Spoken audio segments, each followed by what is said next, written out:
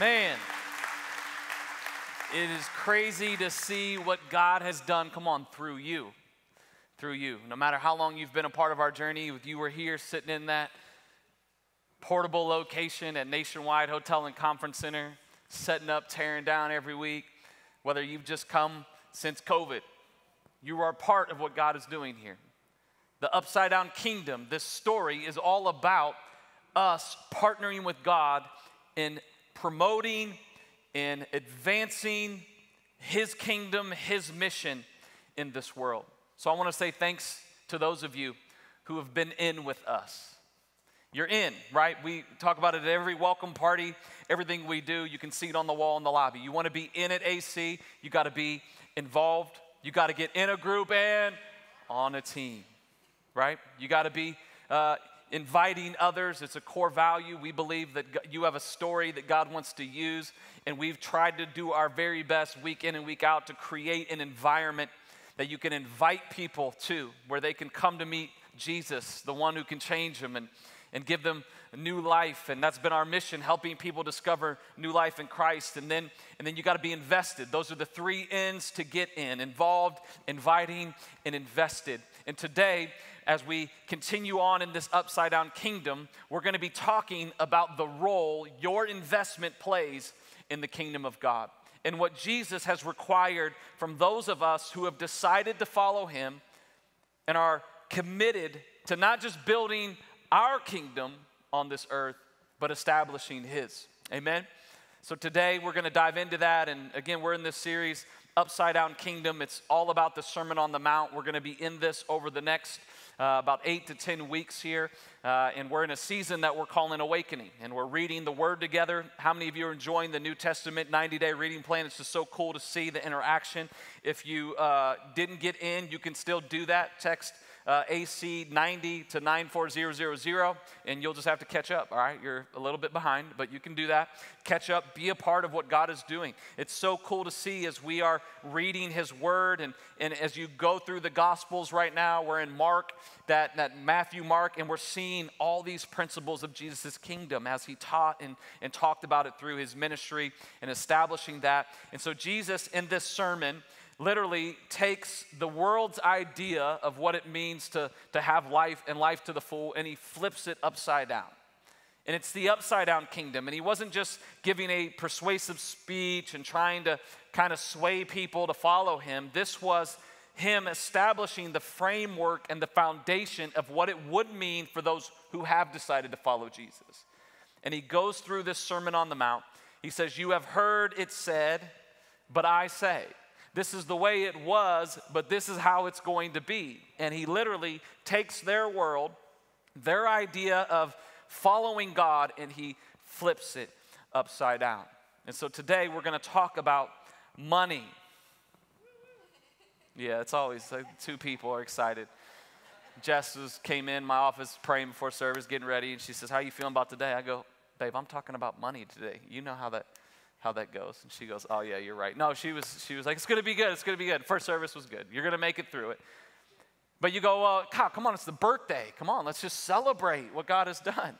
Well, one, do you know how much money it's taken for God to do what He's done? Do you know how much more it's going to take for God to do what He's going to do?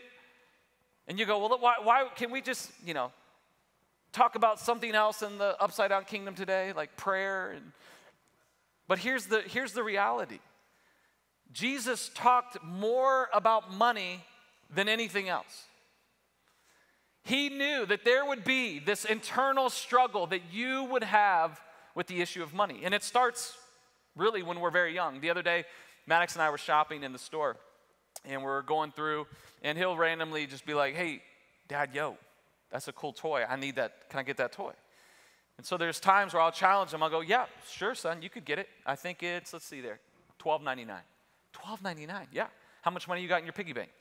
He'll be like, oh, well, I got, uh, you know, I think, do you have enough to cover it? Well, yeah, I have enough to cover it. All right, well, then you could get it if you want. If you really want it, you could get it. He says, well, I don't want to spend my money. I want you to buy it with your money.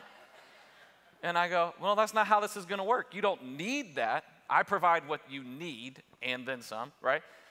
But you're going to have to spend your money if you want that. And it's really not even his money, right? It was given to him probably by me or his grandparents. And so it's like, but still, he's like, well, no, nah, I mean, I don't want that. Then let's just go. I'm like, you sure you don't want it? Well, yeah, I, I want it, but I don't want to spend my money on it. I want you to buy it for me. And that happens all the time. And even from a young age, we see that money has a strong grip on us, doesn't it? And for many of us, we have a strong grip on it. And it's hard to let go of it. And Jesus knew this tension would be there. That's why he talked about it. Two thirds of all his parables, the stories that Jesus made up to illustrate and prove his kingdom principles, dealt with money and possessions. In the Gospels, Matthew, Mark, Luke, and John, that give us Jesus' ministry, that, that show us what Jesus did, what he taught, one out of every 10 verses deals directly with money. 2,300 verses in the Bible deal with money. It's five times as much as prayer and faith. Jesus knew when it came to his kingdom that you and I would have a temptation to build our kingdom while neglecting his. He knew that we would be tempted to invest in the temporal and neglect the eternal. And so, throughout the Gospels and then those who wrote the New Testament, the Apostle Paul, these principles are driven throughout the scripture about money and what we're to do with it. And most of us know what Jesus said. It is more blessed to give than it is to. You guys are biblical scholars. If you break down that word blessed, it literally means happier is the one whose life is ordered around giving and not receiving. It is more blessed to give than to one more time. It's easy to say it, easy to preach it, a lot harder to live it. It's a challenge, it's a tension, it's a wrestling because I believe happier is the one who gets the boat, baby. happier is the one who gets to go on all those vacations. That's what makes me happy. And in this kingdom, this world we live in, that's what they teach. It is countercultural. Jesus flipped it upside down. He said, No, you've been taught, you have heard it said, you have thought, the world says, everything you see, every advertisement, all of it says, happier is the one who consumes, who gets, who acquires, who builds, who has. But we all know people who have a lot and are not happy and they're not experiencing the blessings that comes with being a follower of Jesus. And so at Adventure Church, we have strived to create that culture of radical generosity. It is written on our wall. You cannot outgive God. So God's followers will be invested in his kingdom. It's not a maybe, not if you want to. If you are a follower of Jesus, you will be invested in his kingdom more than your own. So we have this value of investment. We believe you can't outgive God because He gave His Son for you. For God so loved the world that He gave. Biblical scholars, I'm telling you, you guys are on it today.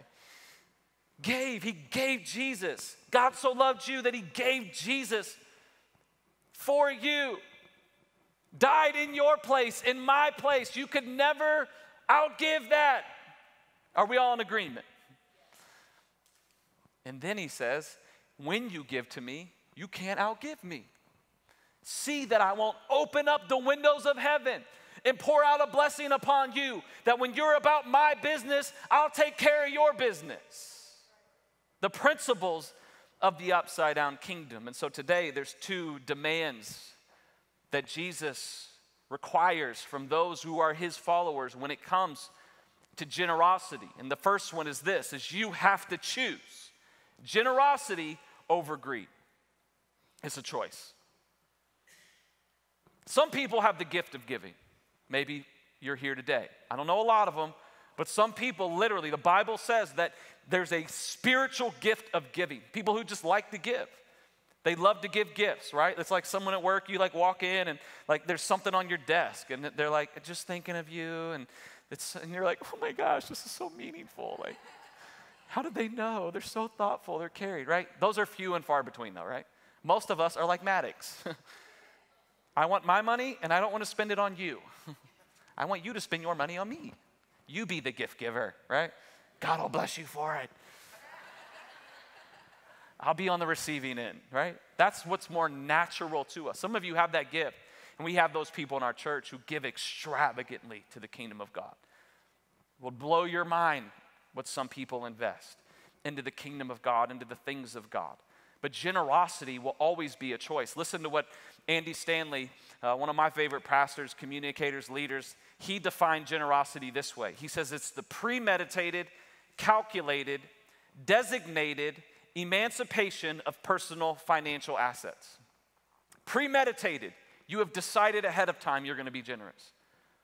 You have pre decided. You calculate it. You pick a percentage. We're going to talk about this.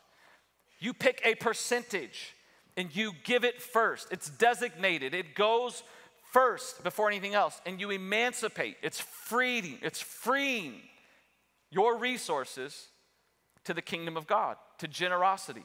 And most Americans, again, don't understand a life built around generosity because it is so countercultural. We've been taught to look out for numero uno me, myself, and I, and those that I love come first.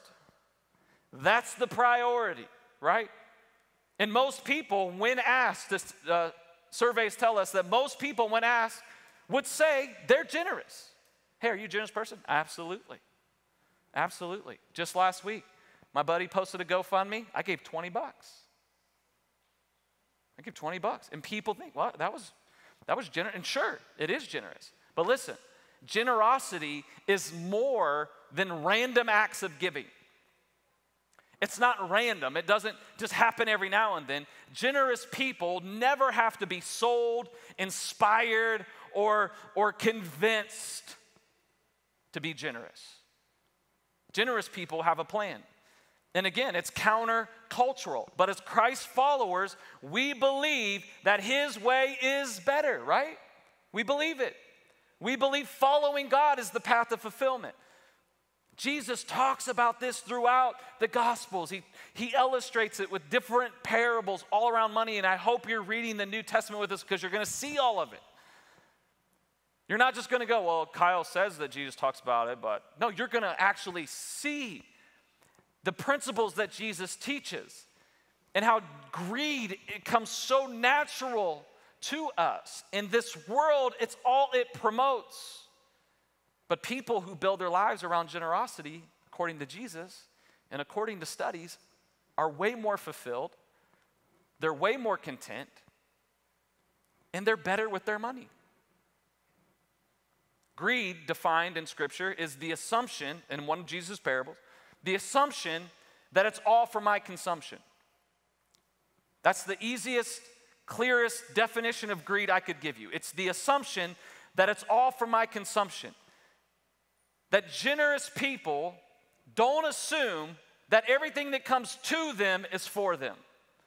They don't, uh, they don't assume that everything is theirs to consume. And to move from a life of greed to generosity, we have to reprioritize our lives, not just our money. Told you to be quiet, Jenny. You see, we have to rethink and reprioritize our finances around generosity and not consumption. And the world would go, You're crazy.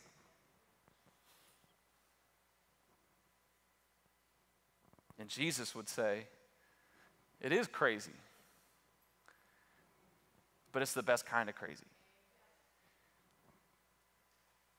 That we build our lives around the kingdom of God and not our own. So you literally got to flip it. Here's what the world says when it comes to your money consume it, save it, give it in that order. Consume, save if, if you can, and then give if there's anything left over.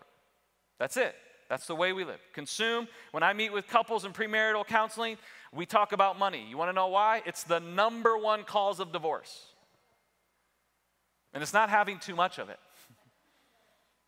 it's the stress and the burden of debt and consuming more than you bring in, spending more than you bring in. That's what the world promotes. It's what the world allows you to do. You can get a credit card.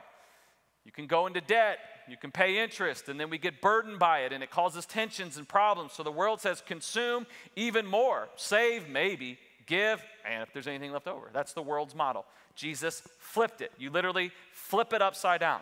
Here's what Jesus says if you're gonna prioritize generosity, if you are gonna be a kingdom follower, you give first, you save second, and then you live on the rest. And if everyone would do that, and people go, Well, how much do you do? I say, I would, 10% goes to the Lord, 10% goes into your savings and your future, and then live on 80% of your budget. And then as you get more money, try to get what you consume less and less and less and less. And Jesus says, the more you do that, the happier you'll be. Blessed is the one, happier is the one whose life is ordered around giving first, saving second, and then living on the rest. And when we do it God's way, studies prove to us generous people give more, save more, and consume less. And they're happier. We have to choose it. We have to reprioritize our lives. We're going to talk about how to make that practical in just a second. Generous people, kingdom people, upside down, Jesus loving followers of Jesus choose generosity over greed and they choose God over self. And this plays out in every area of our life in the upside down kingdom, but especially when it comes to the area of money. And you go, well, why is that? Why is money so important? Jesus prioritized it, and we're going to get into it here in the Sermon on the Mount. And it's really plain and simple. If I can sum it up for you, is because according to Jesus, money is the greatest outward indicator of an inward spiritual condition. It's been said those who, in the area that you worry about the most, is the area that you trust God the least.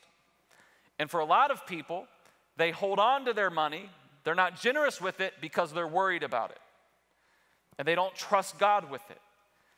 In choosing God over self, prioritizing your life around generosity allows you to choose God over yourself. Jesus tells us, we talked about this, John 15. Jesus said, I am the vine, you are the branches. Remain in me, and I will remain in you. Those who remain in me can do anything. But apart from me, you can do nothing, right? You guys remember the awakening message? If you didn't see, go back. It's the foundation for this whole series. And Jesus says in Matthew 6 19 through 21 that one of the best ways, the best way to remain in Him is to release your money to Him. To remain, you have to release. You go, that doesn't make sense. It's the upside down kingdom. Because he goes on to say this Do not store up treasures for yourself on this earth. Don't build just your kingdom. Because that kingdom will pass away. Moss will destroy it, vermin will come in, thieves will steal it. But store up for yourselves treasures in heaven. Well, how do you do that? Where moss and vermin do not destroy where thieves do not break in and cannot steal. Then he says this this is what Jesus is saying when to remain in him, you got to release your resources to him, for wherever your treasure is, there your heart will also be. And Jesus says that our treasure, our money, and our heart are connected. And where you are sending and spending your money, there your heart will be also. That the heart follows our treasure, and everything else follows our heart, our thoughts, our feelings. And that if He can get your money, He knows that He has your heart. And we like to kind of flip it, right? We like to say, for wherever my heart is, there my treasure will also be. But Jesus is very clear here, and he doesn't reverse the order. He says that your heart will follow your money. In other words, if you want to change where your heart is, change the direction of your money. You go, I don't know if I buy into that, Kyle. Well, take it up with Jesus someday. Secondly, just try this for me. Go and take a significant amount of money, let's just say $1,000, and invest it into a stock. Pick one. Maybe Tesla right now, you know, Apple, Amazon. It's expensive. You can only get a half a share with $1,000, maybe. I don't know. But take it, and guess what you're going to do? The next day, you're going to be like, I mean, I'm just going to check real quick. Stock app. Man, it went down. Went up, right? All of a sudden, you care about that stock because your heart follows your treasure. So Jesus says if you want to change where your heart is, you got to change the direction of your money. You see, saving is great. I talked about it. It's a principle, you got to have it. But saving is how you say yes to you. Generosity is how you say yes to what's important to you. And Jesus said, Apart from me, you can do nothing. But if you want to remain in me, your heart is in me, you got to release your money. You got to reprioritize your life around generosity and building my kingdom over your own. And you see, God can't be first in our lives if He is last in our budget. It doesn't work that way.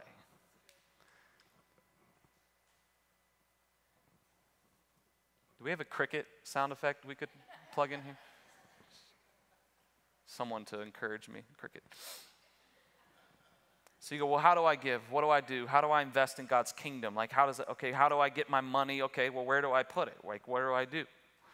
Where do I invest it? Here's, here's my suggestion to you two, two things give from a grateful heart and a broken heart. So ask yourself, what are you grateful for? I don't know about you, I'm thankful for Jesus. I'm thankful that He left heaven and came to earth, that He died on the cross for my sin, that while I was still yet sinning against Him, He died in my place and offered me not only the promise of life to the full here and now, but the promise of eternity with Him forever. That it was a free gift that I didn't have to earn, that He gave it to me. I'm thankful that God so loved the world that He gave Jesus for me. I'm thankful for that. I'm grateful for that. I'm grateful for this church. I'm grateful for you. I'm grateful for what God has done. I'm grateful for the lives that are being changed, and not just your lives. I'm grateful for that my life has been changed because of this place. Listen, I've worked at churches that I didn't really enjoy working at. This one, I love it. I love getting to do life with you. I love going to the Berlin football game when we could next year, right? And I see Adventure Church family everywhere. I love going to the store and people wave, hey, I love getting to do life with you. I love the difference that God is making through this local church. That thousands of people, thousands plus people have said yes to Jesus, baptized, finding their purposes, freed from addiction, marriages being restored, finding fulfillment. God is doing, I'm grateful for this place. And so Jess and I have decided that we give first to here, to this house. We invest in this place because we're grateful for it. We always say that if you're in with us, if you're a part of our family, that you would be invested in this local house. But today's not about Adventure Church. I'm going to give you an update before we leave on where we're at with everything, but it's not just about that because I've told people and I'll tell you if you don't if you don't believe in this place enough to give to it, go find a church that you can give to. Why? Because God wants you to be fulfilled. He doesn't want you to not be grateful, he doesn't want you to come to a church out of obligation. He wants you to be excited about what God is doing. I'm grateful for this place and the difference they make in my kids' lives and the leaders who invest in them. And I just love this place. I'm grateful for it, so I give to it. What are you broken over? What breaks your heart? Find something outside of the local church that breaks your heart and give to it. For Jess and I, it's really easy. Our daughter went through open heart surgery. So, anytime someone's going through that, anytime there's an opportunity to give to nationwide and to do that, we invest in that because of what that place meant to us. I'm broken over kids who get cancer. I don't know what it is. There's just something that grips and breaks my heart when I know a child is suffering with cancer. So I give to that. And I give to those families and I, I pray for those families. We have a running list of kids that we pray for every night with our kids because I can't imagine being in that parent's shoes. It breaks my heart. So I give to those things that break my heart. So, what are you grateful for? What are you broken over? Invest in those things. Well, how do we do that? Well, anything in life, right? It's a very practical approach to generosity. Can I just say that? It's a very spiritual issue, but it's a very practical approach. Practical. That we have to be intentional. Anything in life that we're successful in usually has a strategy and a plan. Your career, your health, your fitness, whatever it is, right? You have a strategy, you have a plan. Generosity for some of you comes natural. You give more. You just like, people are like, look, listen, you don't have any more to give. Stop, right? Like your family's like, you got to quit giving away everything you have, right? But for most of us, it's not natural. We need a plan in place. And we have to move from a 3S giver, that I would call it, to a 3P giver. A 3S giver is this there's no plan. You consume first, you save a little, save a little, give if there's anything less. A 3S giver is this it's spontaneous, it's sporadic, and it's sparing. Man, Kyle, that was a good speech today. Right? No, I'm just thank you, but that's not what I was saying. But it's like that, right? Again, a GoFundMe. You're like, oh man, poor guy. Like, and it's sporadic. It's not a plan, it just happens when it happens. And then it's always sparing. Well, how much do I have? Okay. That's a 3S giver. You have to become a 3P giver. A 3P giver pre decides and they pick a percentage. You pre decide. It's premeditated. I'm going to be generous. And it, I don't care how much you make, I don't care how much in debt you are. You have to pre decide, I'm going to be generous with a portion of what God has given to me. And it's like Maddox. It's mine. No, God says it's mine. Every blessing you have is from me. Every good gift comes from me. And you got to change your mindset. God, this is yours. I'm investing back. A 3P giver is priority, percentage, and progressive. It's a priority. You're generous. You do it first. You do it first, and you pick a percentage. Tithing to, to me is kind of the, the, the standard. I believe in it. Biblically, they teach upon it. Malachi 3 tells us to bring our tithe to the storehouse, to the house of God, that 10% of what God has given us goes back to his kingdom. But that's just the floor, it's not the ceiling. Jess and I have been blessed over the years that as we have tried to become progressive in our generosity, and starting two years ago with our next initiative, moved to 15%. And now we're able to do 15%. And listen, I'll never ask you to do what I don't do. But we have people in our church who give extravagantly more than that to the kingdom of God. So you pick a percentage. Maybe it's 1%, maybe it's 3, maybe it's 4, and progressively we move our way up. In fact, in the first century, the apostle Paul kind of ran into this dilemma with the church in Corinth. And he says this 1 Corinthians 16, 1 through 2. Now about the collection for the Lord's people. Do what I told the Galatian churches to do. On the first day of every week, each one of you should set aside a sum of money in keeping with your income, saving it up so that when I come, no collections will have to be made. And what he was saying is, is that I don't have to get up and do a speech and try to get you to give to the kingdom of God. You've already pre decided, you've picked a percentage, according with what you make, in keeping with your income. So you set aside a sum of money first in keeping with your income. And you go, well, what does that exactly mean? To whatever extent one has prospered, is what that means in the text. And I believe tithing. And I don't know why, it just came easy to us. I started tithing when I was 14 years old and I was bagging groceries at Kroger. I made 5.35 an hour. And it was just, I got paid every Thursday, bam. My dad said, You give that to the church. I just did it. No questions asked. And can I tell you something? I may have done it out of discipline, but now I do it out of blessing. I do it out of grace. I do it out of what I want to do. And people go, Well, Kyle, tithing is Old Testament. Some of my scholars, biblical scholars in the room, that's, that's, that's Old Testament. Jesus You know, he, he brought grace for the law. He, there's grace now. We don't have to stick to the law. Listen, grace always gives more than the law.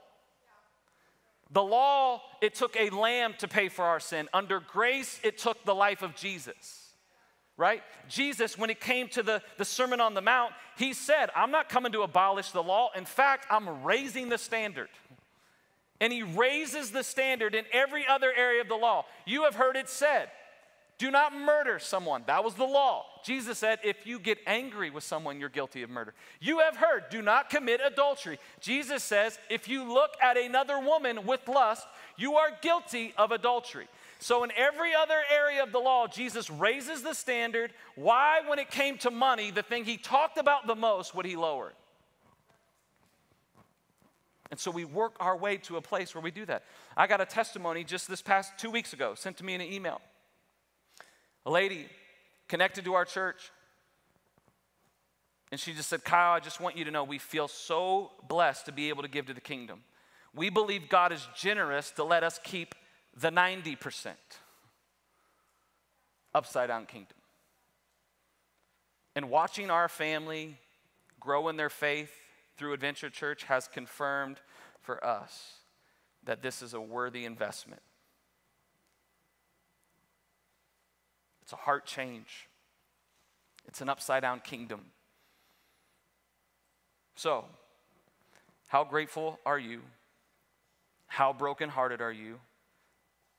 set aside amount of money in keeping with your income.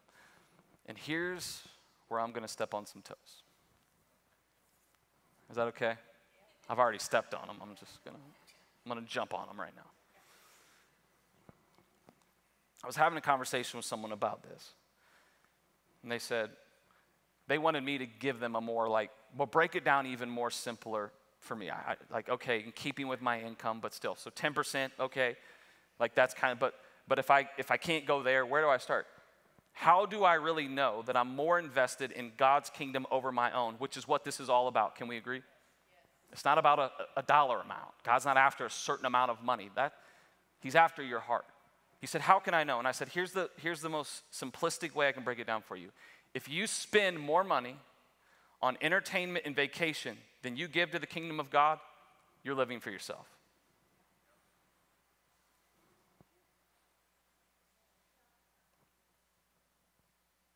Can you at least nod at me like that makes sense? Right? Online, like, preach it. Put the fire emoji up or something, right? Like, but right when you think about it, can we agree that vacations are not a necessity? Okay, sometimes they are, but right?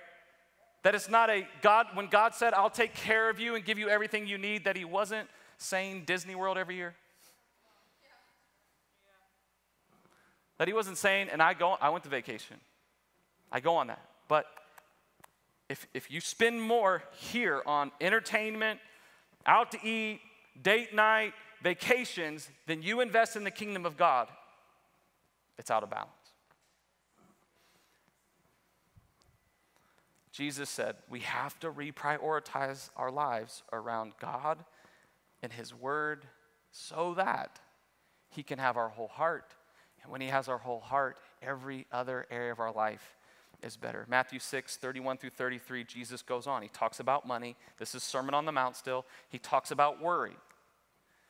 Why would you worry? Why would you get wrapped up in the things of this world? You don't live for this world. Look what he says. So don't worry about all these things. What will we eat? What will we drink? What will we wear? Those were legitimate worries for people that day. They literally had to think about where their next meal was coming from where they would get clothes. They didn't have the things that we have. So Jesus is saying, Why are you worried about your kids' college? Why are you worried about your 401? Why are you worried about all those things? He says, These things dominate the thoughts of unbelievers. Those who are living for this kingdom, all of their hope is in this kingdom. And so when this kingdom falls apart, their world falls apart. But that's not you. You're with me. You reign, God. You're in control. You're over everything. I will not be afraid, even when the markets tank, even when an election is looming. I'm not afraid because I live for your kingdom. I'm remaining in you. My heart is in you. My peace is in you, right? That's the benefits of following God. He says, those things dominate the thoughts of unbelievers. So put your heart, remain in me. And Jesus says the best way to get your heart in me is to release your money. The thing that's the greatest competitor for your heart. He says, unbelievers worry about that stuff, but your Father already knows everything you need. Today and 20 years from now. So, what do you do? Seek the kingdom of God above all else self. Live right, pursue righteousness, follow the path that Jesus has laid out for you. And what will God do for you if you do that? give you everything you need. Not want, need. People have asked me through COVID, through the church, and I mean, we had a great plan in place, a great strategy to get that building built, and everything was, we were just sailing. Good. And then all of a sudden, a virus comes, and bam. So I've talked to pastors, I've talked to some of you. Pastor, are you just, I mean, are you freaking out? Or like, I mean, what are you going to do? Like, you're out of room, you're still out of room, and you, I mean, what are you, how, how long is it going to take now? I mean, what, where, what's going on? Are you, are you worried? And I legitimately 100% look at them and go, dude, it's not mine, it's God's. They go, I mean, but yeah, I mean, you're, at least some, some nights, like, right, you got to wrestle with none, none. I don't worry about it. We still plan, we still strategize, we still talk, the board still meets, still trying to figure everything out, but I don't worry about it. Why? You go, why? Because we're seeking first the kingdom of God. And he said that if I do that, he'll do that. Every promise comes with a premise. I'm handling my portion, God's going to handle his. How many of you would like to live worry free financially? How many of you want that? I mean, you want it, right? You want to live worry free financially? Jesus says it's really easy. Put my kingdom over your own. And when you do that, I will fulfill my part when you do your part. You give first, you save second, and you live on the rest. You give first. And when you do this, everything changes. You will remain in Christ.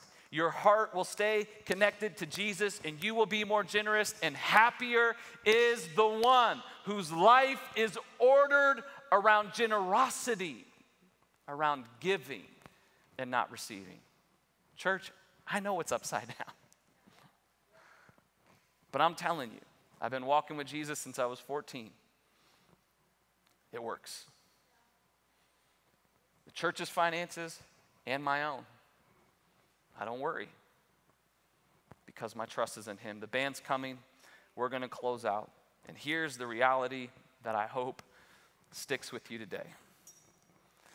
I've made some bad purchases in my life. Anybody else? Just go, ah, why did I buy that? You know? So, oh, regrets. Wish I could have taken it back, you know, whatever. Here's the thing I've been tithing since I was 14. I've never, ever gotten my contribution statement and gone, oh, oh man, I gave that much? Man. Called the church. Any way I could get a refund on October and November? Gosh, we weren't even meeting. What were you guys doing? I've never once regretted what I've invested in the kingdom of God. Not one dollar, not one minute. I've never gone down to the Dream Center and served and been with people. I've never gone and prayed with someone and, and left there and went, man, I wish I wouldn't have done that. What a waste. Never.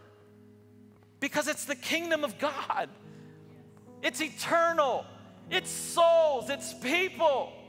It's the only thing that matters is people. It'll be worth everything that you invest in his kingdom. Not only does God say, yeah, it's worry free. I got you. I'm with you.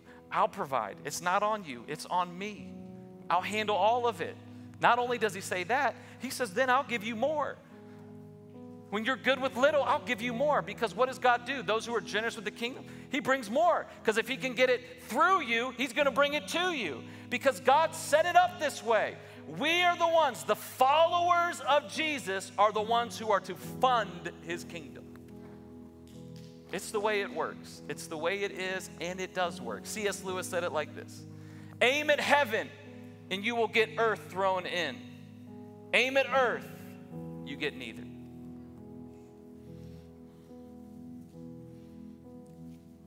It's upside down. This world say, You are crazy. And I would say, and Jesus would say, You'd be crazy not to. Stand with me. We're going to sing today. And as we do, I want to challenge you. One, let's worship Him for what He's done. Let's not neglect that today. I have a bad time at celebrating wins because I'm so driven to get on to the next mission. Let's just thank Him for what He's done. Thank you, God, for the lives that you've changed, for the people, for you, for the kingdom, for the, what you're doing here in this community, through this house. We thank you for it. But come on, let's give more so He can do more. There's more to be done, and it's going to require more of you and me. But can I tell you, it'll be worth it. Someday you're going to stand before Him and you're going to see Jesus face to face. And He's going to go, Well done. Now you can come into my kingdom where nothing will ever destroy it, where you'll be safe and secure in the presence of God for eternity. We live for another world, for a different king and another kingdom. And you'll never regret one second and one dollar that you invest in his kingdom.